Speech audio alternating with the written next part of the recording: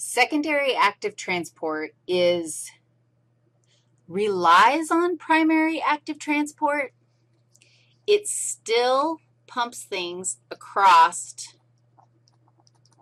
the, or against the concentration gradient. Secondary active transport. It still requires energy.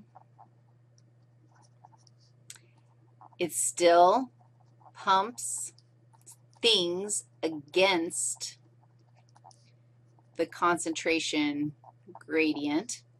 However, it doesn't, it doesn't require direct energy. It's not direct. Now, what was our direct form of energy in the previous example? ATP is an example of direct energy. ATP is like direct money. In secondary active transport, there is someone who is pumping against a concentration gradient. So step one,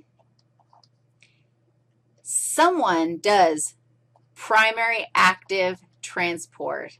It happens somewhere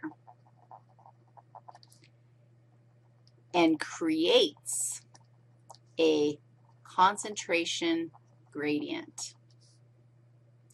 And then that concentration gradient is used to transport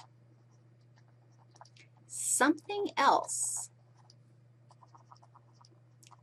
against its concentration gradient. What?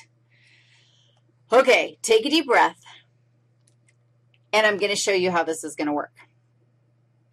Remember, this is primary active transport, and we have a little pump that is basically creating a high sodium environment outside and a high potassium environment inside. Okay, so this pump is just like it's going to work. It's using a direct source of ATP, and it's pumping and pumping, and it's creating these concentration gradients. And now that the concentration gradient has been created, now watch this. Okay, I have to think this through. Sodium wants back in. Do you agree with that? It's a high concentration of sodium out here. So if we had a transporter, a secondary active transport transporter that let, okay, so I'm going to make it look like this so that you can agree, right? It looks like a little thing. Sodium is going to want to come in and go through. Like it, it wants back into the cell because this guy, the sodium potassium pump, is pumping it out, using ATP to pump it out. Lots of ATP is being used to create this concentration gradient of sodium. Now, along comes this pink thing that says, hey, man, sodium, over here. I'll let you in. I'll let you in down your concentration gradient. Sodium's like, boom, I'm in. Let's do this. Sodium is just going to go down its concentration gradient. This is where the energy comes from. Sodium is going down its concentration gradient. Guess who's going to hitch a ride? I'll tell you who. Sugar, glucose is going to hitch a ride. Glucose is going to like say, now, I'm telling you right now, there's a lot of glucose inside this cell.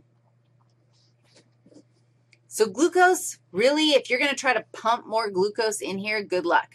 You're going to have to do active transport in order to do it. So secondary active transport says, hey, but there's a concentration gradient for sodium. So let's let sodium in and have glucose hitch a ride. And glucose is going to hitch a ride and make it in against its concentration gradient, but down sodium's concentration gradient.